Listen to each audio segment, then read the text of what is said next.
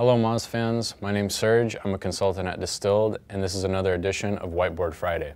Today I want to take the next few minutes to talk to you about one of my processes for delivering JSON LD recommendations.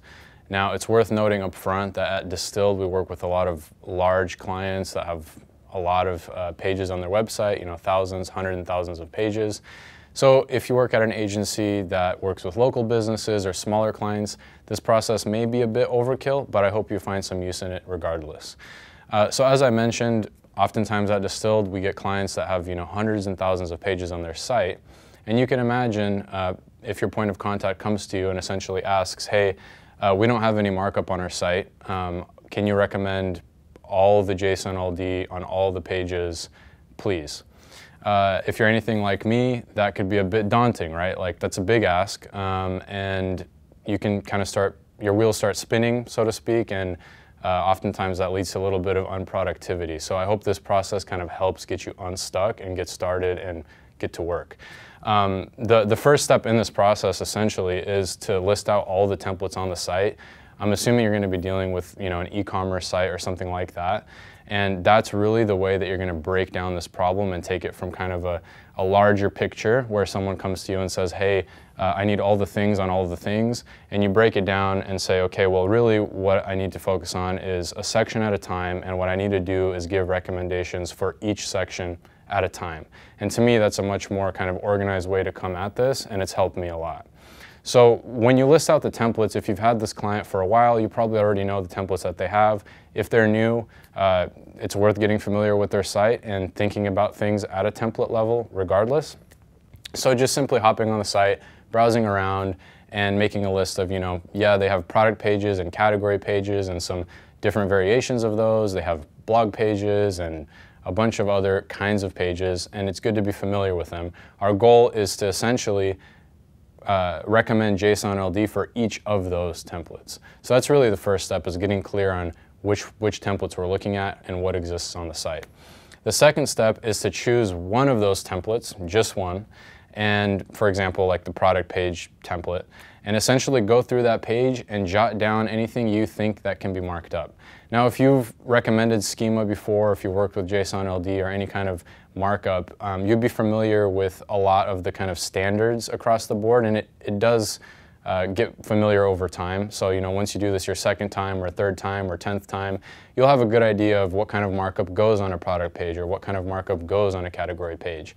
If it's your first time, just go on the page and I'd encourage you to just browse through and look at schema.org or some other example sites that are similar, see what they're doing and kind of jot down by yourself, uh, you know, in a notebook or something, um, what you think can be marked up. So on a product page, you can note down that, yeah, you know, there's an image of the product. Uh, there's a price, there's a URL, there are breadcrumbs on the page, there are reviews, etc. And you're just going through and, and kind of making a list of that very simply. The next step is to essentially take those notes and convert them into JSON LD. And at this point, people tend to kind of you know freak out a little bit, but you don't have to be a developer to do this. It's very accessible. Um, if this is your first time going about it, I'm not going to get into all the specifics and you know how to do that. This is more of a framework of approaching that, but there's a lot of great articles that I can link to. Um, just reach out to me and I can hook you up with that. But the third step, again, is to convert those notes into actual JSON LD. And that process uh, is, is fairly straightforward. What I like to do is open up the, the page or a representative URL from that template that I'm working on. So for a product page, open that up in my browser. I would like to have schema.org open. That's kind of the, the canonical resource um, for schema information. And then I also like to have a few competitor sites open that are similar. If you're working on an e-commerce brand, you're fortunate that there's a lot of great examples of sites that are doing this well and that's publicly available to you and you can check out what they're doing and how they're doing it. So my process is kind of just going through that list, going on schema.org or going on a competitor site or a previous site you've worked on. Um, you know, if you're looking at something like, let's say, uh, the cost of the product, you can look that up on schema.org. You can see that there's an offer type markup. You can copy that into the schema testing tool and essentially validate that it works And once you validate it, you just go down the list further. Um, you know, if you start off with the price, you can move on to breadcrumbs, etc. And at the end of step three, you essentially have all the JSON LD that uh, you need, certainly the core elements, um, to, to kind of start down the next step. And the next step is to pause and check in with your point of contact because if you're working on a large scale site and you're going to have 10 or 15 of these templates you're working on for JSON LD, it's worthwhile to essentially say, hey, can we do a 30 minute check-in because I'm done with the first template and I want to make sure that you know, this all makes sense and this is in a format that's going to be good for you. Uh, and speaking of format, what I like to do personally is just use Google Drive, set up a folder in the client uh, folder and title it JSON LD, give the client access to that. And within that folder, you're just going to have a bunch of different documents and each document is going to be per template.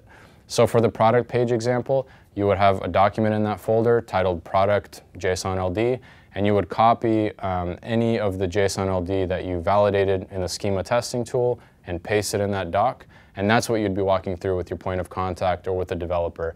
And pretty much take any feedback they have. If they want it in a different format, take that into account and revise it, meet with them again, but pretty much get a green light before moving forward to work on the other templates. And that's really the next step is at that point, you, once you have the green light, the developer feels good about it or your point of contact feels good about it, you're just to kind of rinse and repeat.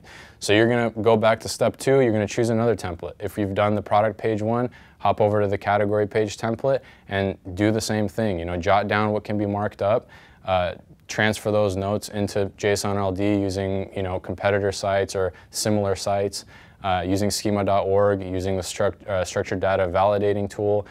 It's the same process, and at that point, you're just kind of uh, on cruise control, you know, and it, it's nice because it takes, again, something that initially could have been fairly stressful, at least for me, um, and it breaks it down in a way that, you know, makes sense uh, and you can focus because of that. Uh, so again, this process has worked really well for me. Um, at Distilled, you know, we like to think about kind of frameworks and how to approach bigger problems like this and break them down and, and kind of make them more simple because we found that allows us to do our best work. Um, and this is just one of those processes.